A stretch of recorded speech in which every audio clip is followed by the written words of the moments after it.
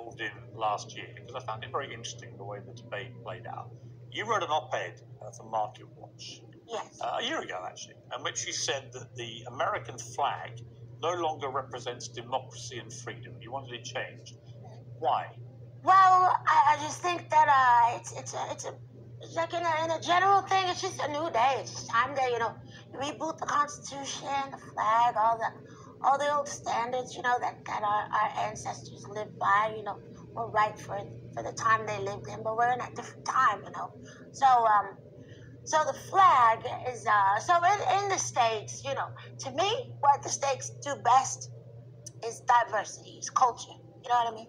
without culture in America, you really don't have much going on. You know, you have, you know, I don't know, Amazon. Like, what do you have if you don't have color in the States, I mean, I agree with that. What I would Yeah. say to you is, though, that it's such a divisive issue, things like the flag. Do you not think there's a danger? I mean, I'm interested in what, how you feel a year on from that debate. You got hammered, obviously, by a lot of people. A lot of Americans were outraged. Others thought you raised an interesting point. In a way, it wasn't that dissimilar to what Colin Kaepernick went through with the protests that he was doing. Some agreed with him, others were furious. Do you have any regrets about the, what you said about the flag? No, in fact, I, I'm excited to bring it up again because I, I- I think it's more important now. What what I want to do is, is more important now. It's just messaging. It's just it's just like if you if you. So my idea was to make the stars the colors of all of us. So there'd be a mm. star representing you, one representing me, one representing everybody in the room, right? So that way you look up to the flag and you feel welcome, you feel included, you feel like you belong there. But why does, okay, let me play devil's advocate. Yeah. which is, I think the American flag is a fantastic flag. I love my flag here too. English flag, the UK flag. I love these flags. To me, they're not about making any kind of diverse point. They're just great flags. And if I was an American, most Americans I've spoken to about this, they say that there are other ways to, to celebrate diversity.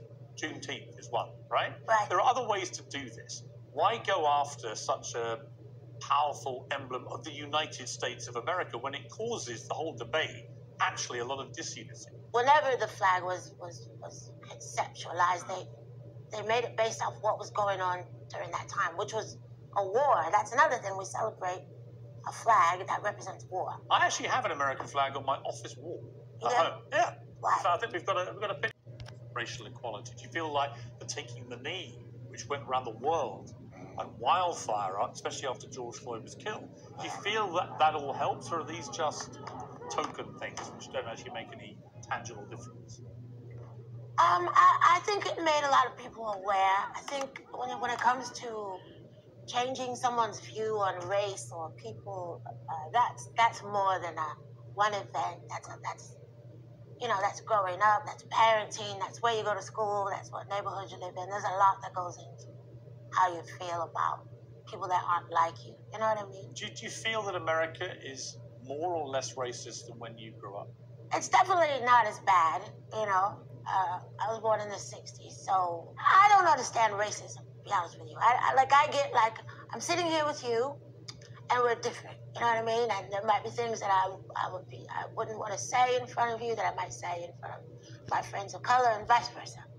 But, like, to hate someone or want to kill someone or hold somebody down because of what they look like, I don't, I don't understand. I mean, I completely agree. I think I think most people would completely agree with that. Yeah. I do think racism is a is a minority, fortunately, in almost every country, and particularly America and Britain. I don't think it's by any means a popular thing, but it exists, and it's the it's what's the best way to tackle it? What's the best way to get rid of it? You have to let go of uh, needing to be better than, than everyone else. You have to let go of, of of your hangups about slavery. You have to let go of your hangups about superiority. You have to, you know, it's a, it's very personal how you feel about other people.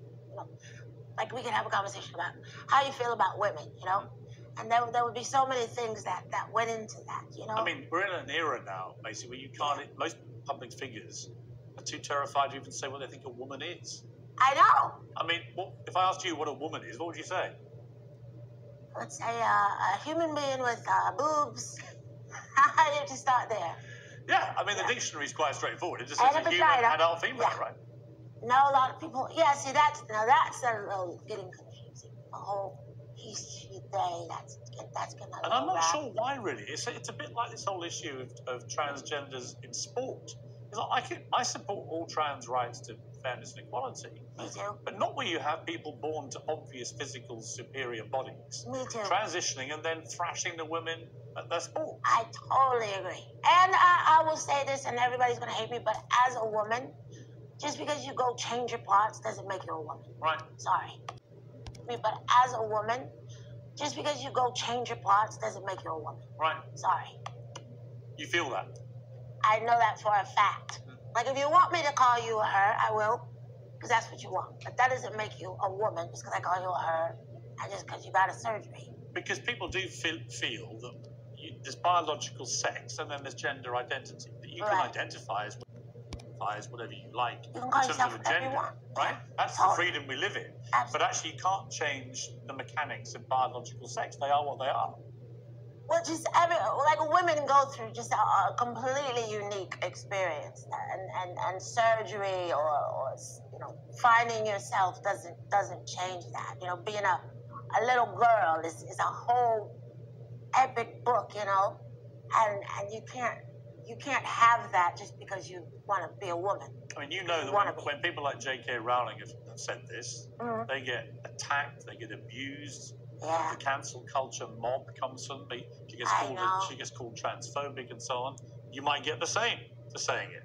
but it's the truth. I'm not. I and I and and and and, and I don't think you should be called transphobic just because you don't agree with. You know, I, I just there's a lot of you know judgment and throwing you know stones at people for for just saying what it is. You know what I mean?